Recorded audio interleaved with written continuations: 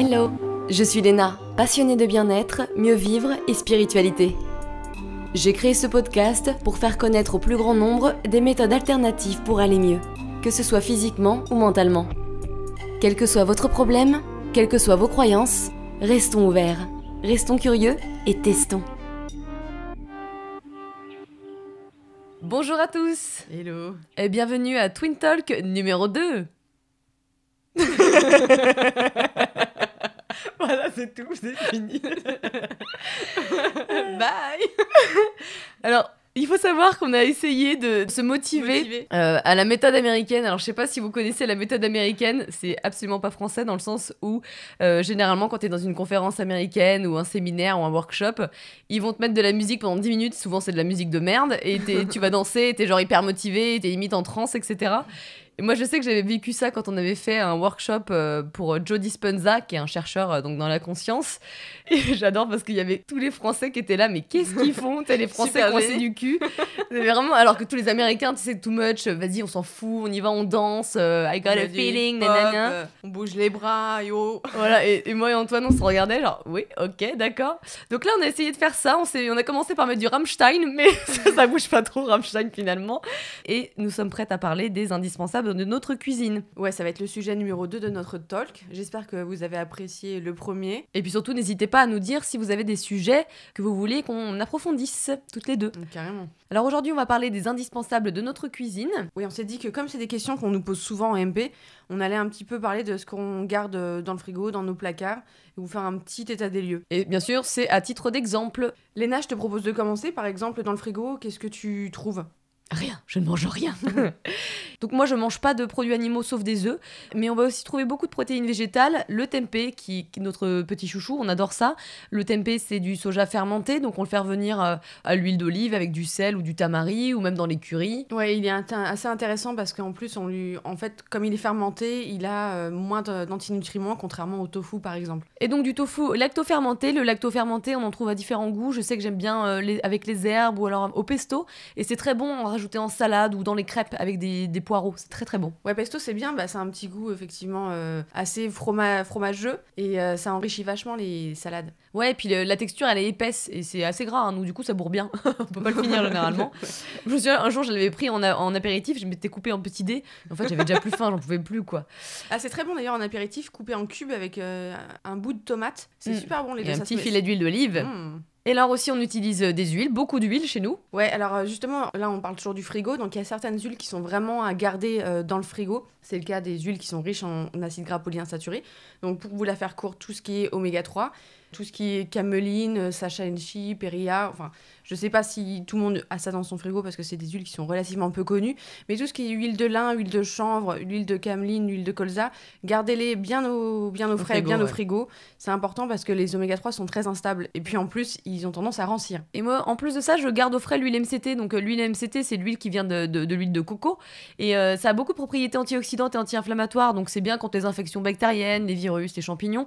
Et euh, je crois que ça favorise l'équilibre de la flore intestinale. Donc, Et euh, euh, je, te, je te coupe justement, moi j'utilise aussi, euh, je le mets dans mon frigo, la marque Nutribi, en fait c'est une émulsion d'huile MCT. C'est une petite marque française qui vient de se lancer il y a un an. Et en fait, le matin, quand j'ai pas le temps de déjeuner et que j'ai besoin d'un petit coup d'énergie, je me fais un thé et je mets une cuillère à soupe, euh, enfin une cuillère à café plutôt, euh, de cette euh, émulsion d'huile MCT. Et ça me permet en fait d'avoir un peu d'énergie. oui, parce que c'est rapidement absorbé en plus. En fait, c'est pas du tout utilisé comme les autres huiles. Ça, ça va servir directement d'énergie. hein. Alors, à côté de ça, en plus des huiles, il y a. Mon houmous. Alors, si vous me suivez euh, sur Instagram ou même Léna, vous savez, euh, vous connaissez notre passion pour le houmous. Tous les apéros sont à base de mousse. Ouais, enfin, ça fait quand même péter. hein. Il y en a certains, euh, pff, laisse tomber. Après, le lendemain. euh, Il y a des intestins qui sont plus sensibles que d'autres, hein, donc apparemment, apparemment celui de Léna.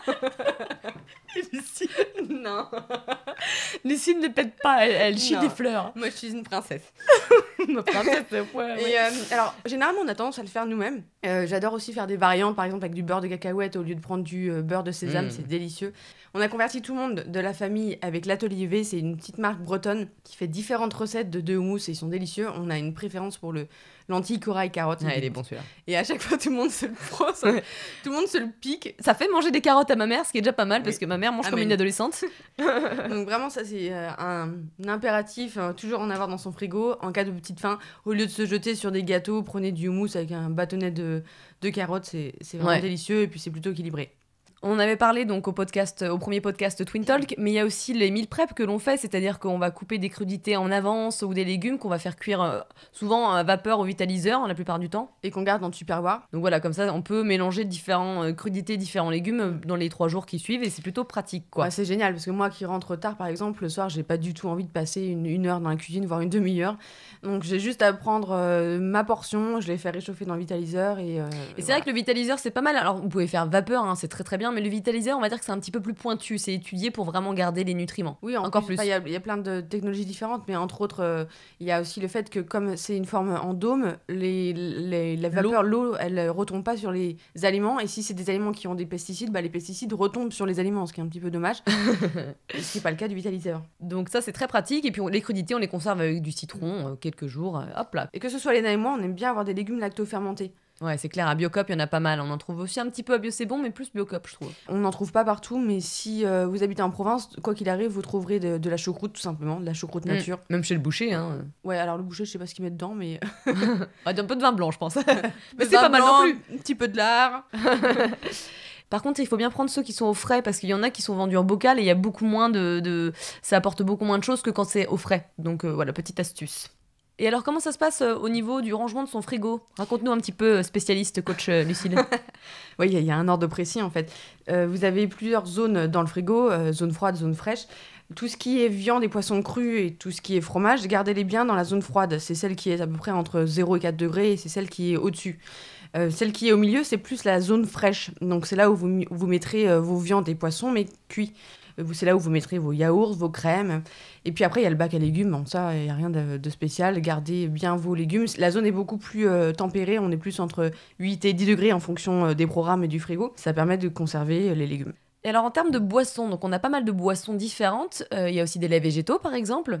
Ouais, Léna et moi, on a arrêté le lait il y a déjà au moins 5 ans, toi peut-être plus d'ailleurs. Mm. Euh, et du coup, on s'est mis au lait végétaux. Alors, ce que, ce que moi j'aime beaucoup faire, c'est varier.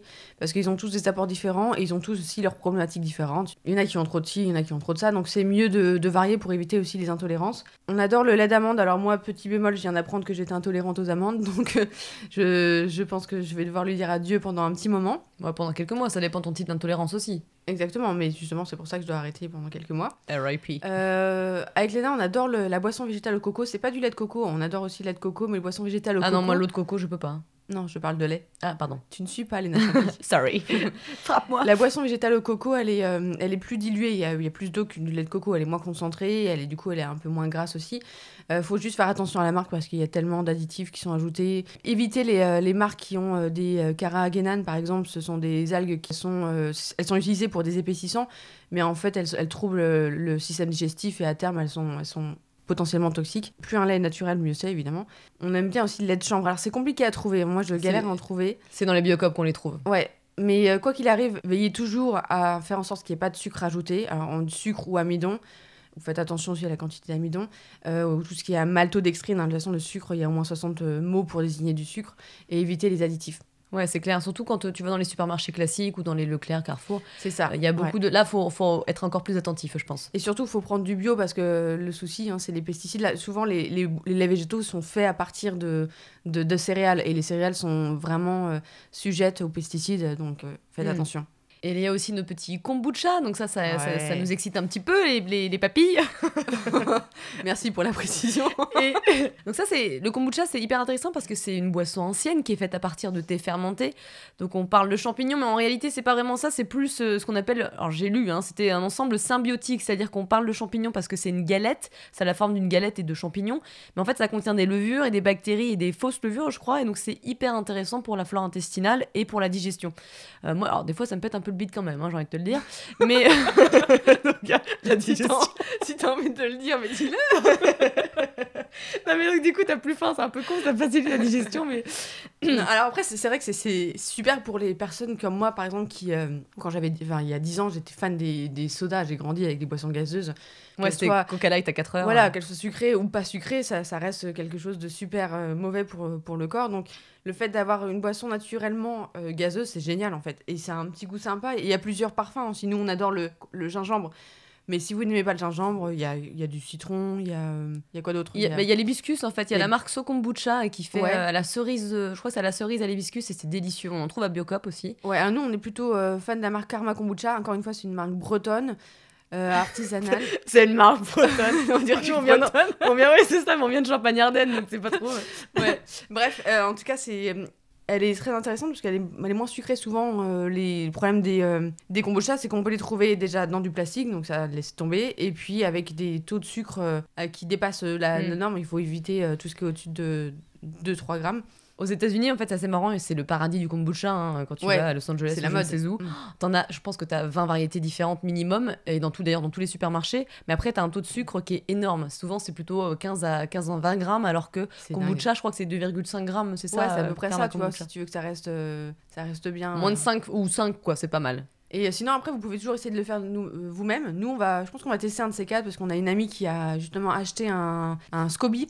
En fait, le SCOBY, c'est un, un champignon et c'est ce qui sert de base pour faire le kombucha, parce que le, kombucha, on le rappelle, c'est du thé fermenté. Donc il suffit de faire du thé, de le faire chauffer, de mettre du sucre, et puis ensuite de rajouter le SCOBY. Et ça fait cette réaction merveilleuse.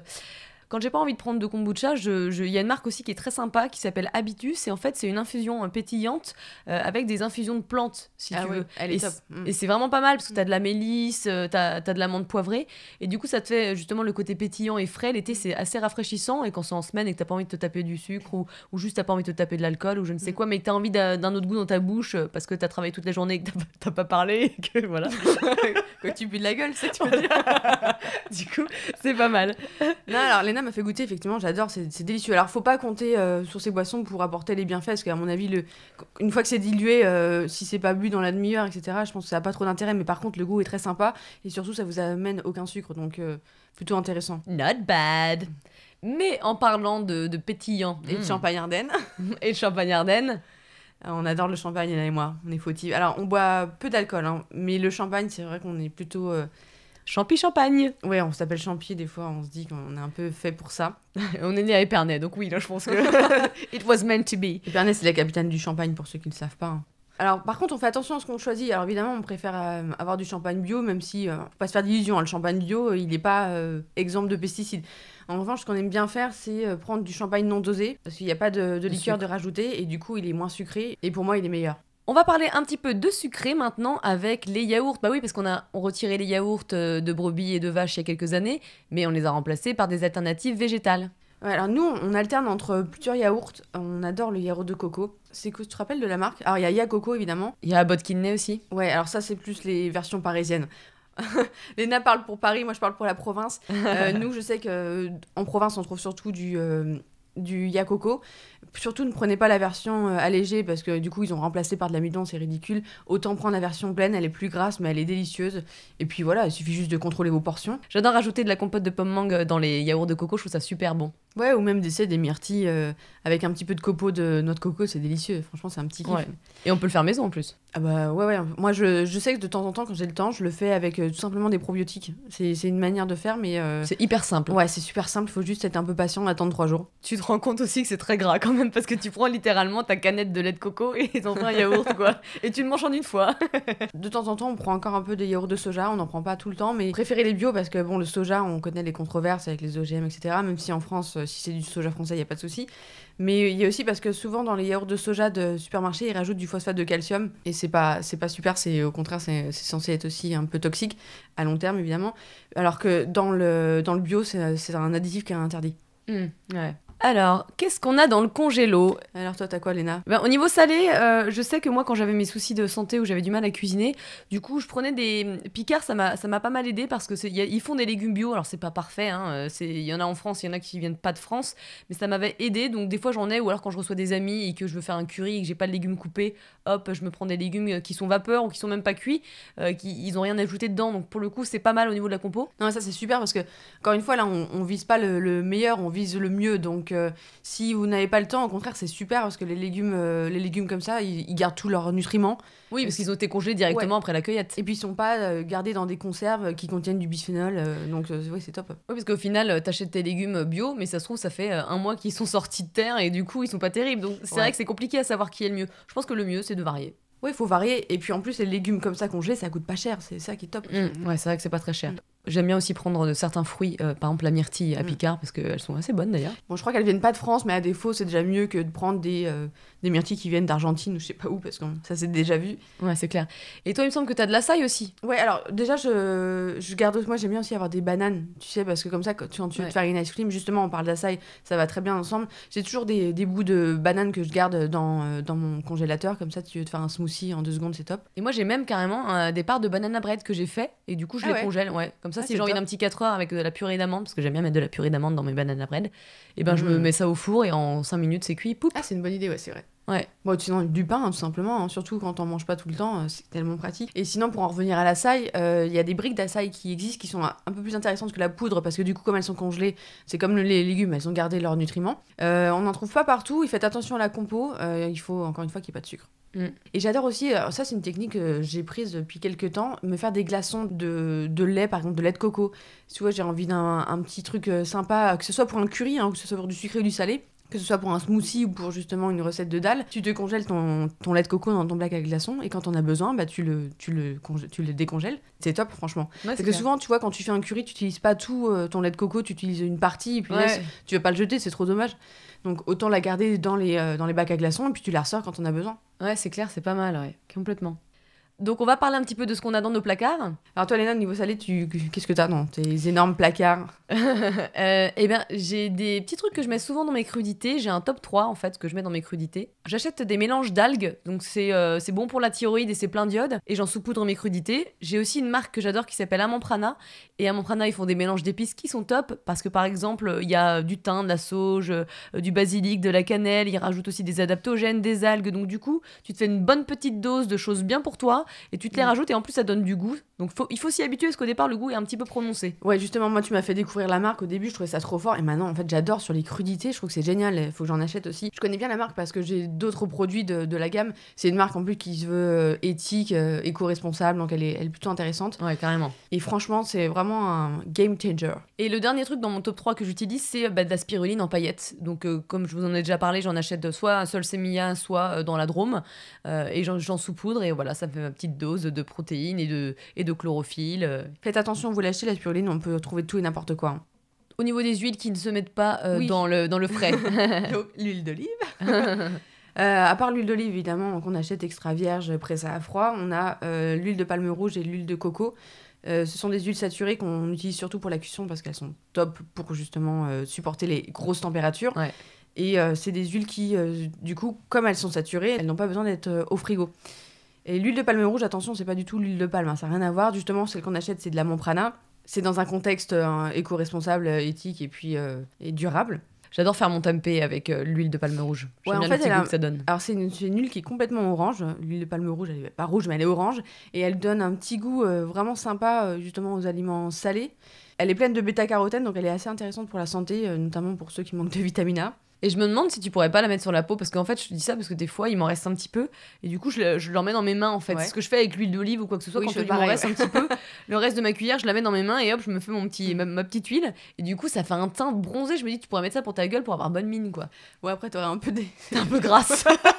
tu brilles, tu brilles de mille Tu feux. te retrouverais avec la peau peut-être un peu plus bronzée, mais avec plein de, plein de boutons partout, donc à toi de voir. mais- Il y a aussi l'huile de coco. Ouais, bah l'huile de coco, de toute façon, on a- je crois qu'on a déjà parlé la première Ouais, fois, mais moi l'adore pour tout, euh, enfin que ce soit pour justement pour le- la peau, pour le corps, pour les cheveux, pour les bains de bouche, pour la cuisine, elle est top. Et alors, est-ce que vous connaissez le miso? Et oui, le miso, le miso, c'est euh, du soja fermenté aussi. Et je trouve que c'est super bon. Moi, j'aime bien le, le mettre, euh, le mélanger avec de la moutarde et avec de l'eau. Et ça fait une sauce quand je mets mes légumes vapeur. hein, je trouve ça assez bon.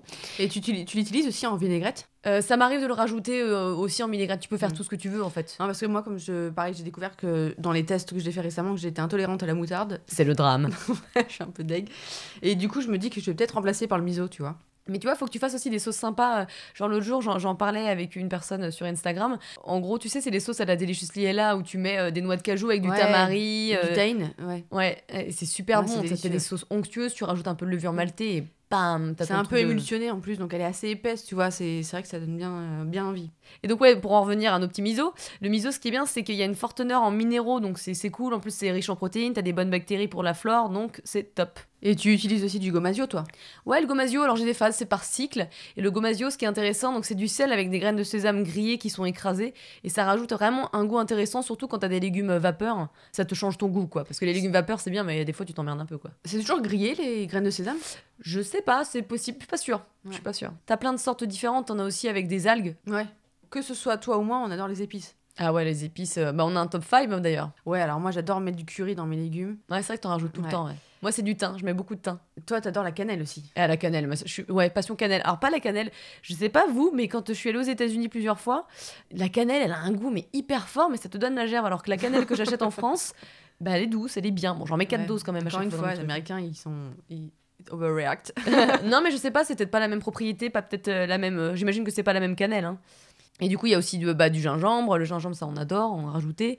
Euh, Il y a du romarin qui Mm. aide pour la digestion. Le curcuma. Donc voilà. Mm. Au niveau des céréales, qu'est-ce que tu utilises, toi? Alors, euh, moi, je varie beaucoup. En fait, euh, je change à peu près tous les 2-3 jours.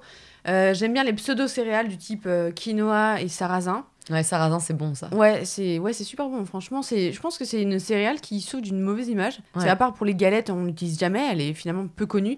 En plus, elle est super rapide à faire. C'est un peu comme du riz hein, au final ou comme du quinoa. Ouais, par contre, faut faire attention parce que ça cuit très vite et ça peut vite devenir une bouillie, ouais. Ah ouais, moi j'ai pas ce problème. Pédante. Euh, Moi, j'ai pas ce problème. non, je suis une princesse. et vous, vos sarrasins, ils sont trop cuits Bref, anyway. Euh, J'utilise un peu de riz. Alors, je... le riz, je varie. Je prends jamais du complet parce que moi, au niveau de l'arsenic, ça me fait un peu, un peu peur.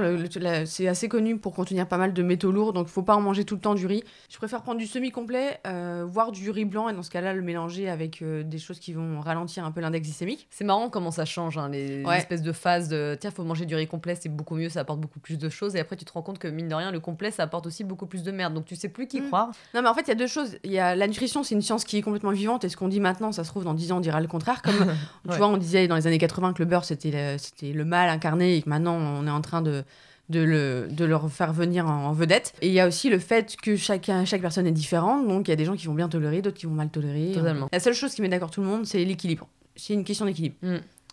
Quand je fais pas de céréales, j'adore les légumineuses, tout ce qui est euh, haricots rouges, euh, pois chiches, euh, lentilles, lentilles corail, j'adore, c'est tellement simple à faire. Mm. Si vraiment tu sais pas quoi faire, tu prends des lentilles corail, tu mets un petit peu de coulis de tomate, un petit peu de lait de coco et de l'eau, tu laisses, euh, et puis en, en 10 minutes, c'est cuit, t'as un super, Ouais. super dalle quoi. Mais tu sais, il y a la marque Bendy aussi Ouais. que j'adore, qui fait plein de mélanges de préparation à base de légumineuses ou Ouais, de je la céréales. recommande beaucoup à mes clientes parce que c'est ça pour moi c'est le seul, les seuls plats préparés qui sont intéressants parce que en gros c'est juste des saveurs, c'est c'est du riz amélioré, du, des lentilles améliorées, Avec des épices. voilà, un petit peu de coco euh, et c'est délicieux. Alors parlons de ce qu'on trouve en sucré. Et donc Léna, parle-nous de ta passion pour euh, la purée d'amande. Ah, my god.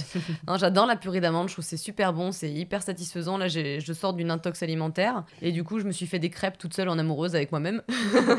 la première crêpe, c'était avec des légumes vapeur, tu vois, avec un peu de vinaigrette, tranquille. Et puis après, par contre, je me déchaîne deux crêpes avec de la purée d'amande euh, bien, enfin plutôt de la purée d'amande à la crêpe, je dirais même d'ailleurs. hein. J'a- J'adore ça. Je trouve c'est super bon, c'est hyper satisfaisant, c'est c'est un moment à soi. C'est une pub taille fine version gras, quoi.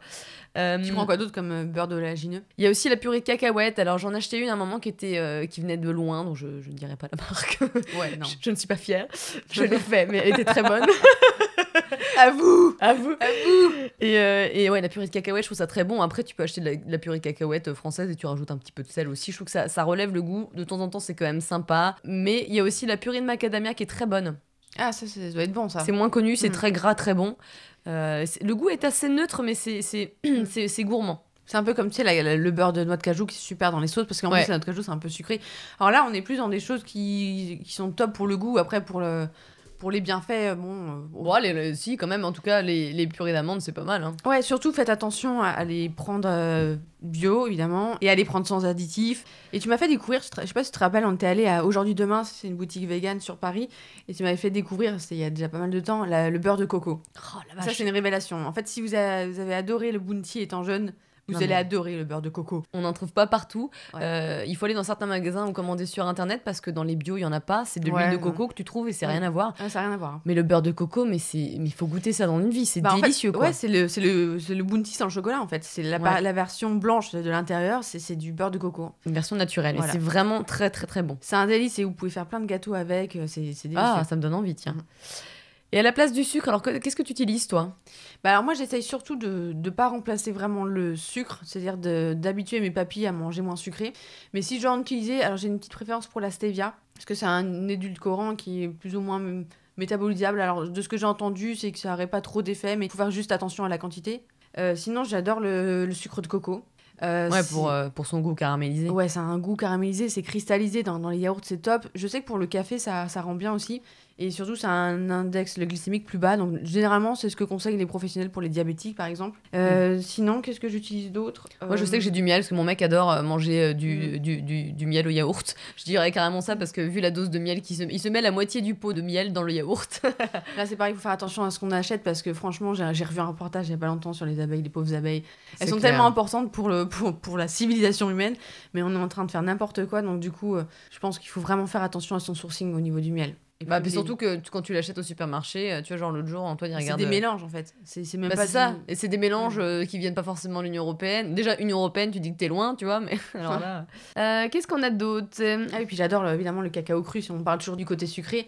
Euh, le cacao cru, alors on parle pas de, de marque de supermarché, euh, du cacao que vous avez depuis que vous êtes petit, on parle Du. Nesquik. Voilà, Euh, le cacao cru, c'est du cacao en fait vraiment brut qui a été non torréfié, non raffiné, et du coup qui a gardé tous ses antioxydants. Faut s'habituer un petit peu au début, parce que c'est un goût assez fort, mais en fait on le remplace assez vite. hein. Ah, moi j'adore. Et ce qui est intéressant, c'est qu'en plus, t'as des variétés de cacao différentes et du coup, le Ouais. goût n'est pas le même. Ah, c'est ça. Je vous conseille de changer régulièrement. Et on s'est, tellement habitué au goût du cacao avec Léna que maintenant on achète même des... euh, des euh, comment on appelle ça, tu sais, des... euh, Alors là, je vois pas ce que tu veux dire. C'est bah, le, le cacao, la, pas ah, le- les fèves de cacao Merci, les fèves de cacao. Bah, c'est pareil, ça vient de Solsemia. Et euh, si vraiment vous avez une envie de chocolat, une pulsion, euh, je trouve que c'est top d'en prendre. Alors évidemment, c'est un peu amer. Ouais, attends, je l'ai fait goûter à ma belle-mère, euh, elle a grimacé quand même. hein. Il faut, Non, mais faut prendre l'habitude. Nous, on est, c'est vrai Voilà. qu'on a quand même vraiment l'habitude de certaines choses que plein de gens qui mangent des Kinder n'auront peut-être pas l'habitude. Ouais, Donc, pas de euh, chocolat au lait là. Commençons plutôt par du chocolat noir 70%, 75%, si Mm. on est vraiment habitué au galac et au. Tu vois. euh, Et justement, en parlant de chocolat, il y a une marque que j'adore qui s'appelle Love Shock. Euh, qui, alors, je crois qu'il y a plusieurs versions, mais je crois, il y a la version 85%, donc là, il y a quand même 15%, euh, il y a quand même 25%, pardon, le meuf est bonne en maths, euh, qui est un peu euh, sucré. donc c'est assez, euh, c'est plus facile que du chocolat noir à 100% par Ah oui, exemple. c'était moi qui t'avais fait goûter, je me souviens il y a longtemps. Je sais pas, mais j'adore en prendre. Et d'ailleurs, j'en ai acheté pour mes collègues pour les féliciter d'avoir tenu une semaine détox. Et en fait, c'est un chocolat qui est super intéressant parce que déjà, il est cru. Mm. Et en plus de ça, le sucrant, c'est pas du sucre blanc ou du sucre raffiné ou du sirop de glucose, n'importe quoi. C'est des dattes, c'est du lucuma, c'est du maca. Donc en plus, il y a un mélange avec des super aliments et il est vraiment délicieux. Ouais, il est très bon. Et moi, j'aime aussi beaucoup une marque alors qui est américaine qui s'appelle Addictive Wellness. Ah, ça Et porte bien son nom. Et je vous en avais parlé, ils font des, des chocolats aux champignons. Alors quand je dis ça aux gens, ils se foutent de ma gueule, mais c'est très bon. Champignons adaptogènes, on parle. hein. Oui, oui, euh, ouais. c'est pas des champignons psychédéliques. Putain, j'ai bouffé du chocolat, mais mine de rien, ça pourrait très bien marcher. Il y en a sûrement d'ailleurs. Et j'aime bien aussi, euh, le... bah, je pense que toi aussi, j'aime bien faire mes chocolats. Donc je prends une tablette de chocolat Ouais. euh, noir à 100%. Et Tu euh, mets je- un peu de stevia. Voilà, on met un peu de stevia. Et des fois, quand euh, j'ai envie- je suis un peu d'humeur coquine, je, je rajoute euh, justement de la purée de, de noix de macadamia dedans. Ah ouais, ouais. Et ça fait un fondant euh, purée macadamia, c'est délicieux. Et si vous n'avez pas de moule euh, pour faire du cacao, en fait, prenez simplement des bacs à glaçons. Mm. Ça marche très bien. Ça marche bien. Et puis, du coup, tu peux mettre euh, des noisettes, des, des fruits secs, ça. tu fais ce que tu sais, veux. tu fais, comment ça s'appelle des, Des mendiants. Mm. Tu te mets un peu de, de, de noix. C'est un des- peu horrible comme nom. C'est mendiant. tu vas prendre ta merde, on va mettre plein de trucs dedans. C'est un peu, ouais. Tu mets, ouais, tu mets des, des fruits secs aussi, c'est délicieux. Très très bon, ouais. J'ai aussi des farines pour faire mes crêpes parce que oui, moi j'adore la pâte. J'aime le neutre. Passion gaufre et, et crêpes depuis que je suis toute petite ou gâteau yaourt quand j'étais petite. C'est vraiment des choses qui me, qui me parlent. Clair, toi, ça Euh, t'a traumatisé toute ta vie. Ouais, non, mais ça, j'aime le neutre. C'est- comme ça. Je suis C'est- C'est boring pas en le neutre, c'est le, pâteux en fait, c'est le côté. euh, Ouais, je ne saurais pas définir. Bon, c'est vrai que c'est euh, un peu boring en fait. Mais je suis sûre que je suis pas la seule sur cette terre. Donc moi, ma recette de crêpes, généralement, c'est j'utilise un mix de... Enfin, je fais moitié farine de riz et farine de châtaigne. Ou des fois, si j'ai envie de changer, je vais prendre de la farine de patate douce. Pour Ouais. faire tes crêpes? Ouais, ouais, ouais. Alors, c'est un goût quand même moins sucré parce que la châtaigne, c'est beaucoup plus sucré. Donc là, je vous conseille de rajouter un sucrant si vous utilisez juste de la farine de patate douce, quoi. Moi j'adore la farine de pois chiche. C'est Ouais. top pour faire des crackers. J'ai Ah ouais, j'ai une putain, petite recette crackers maison.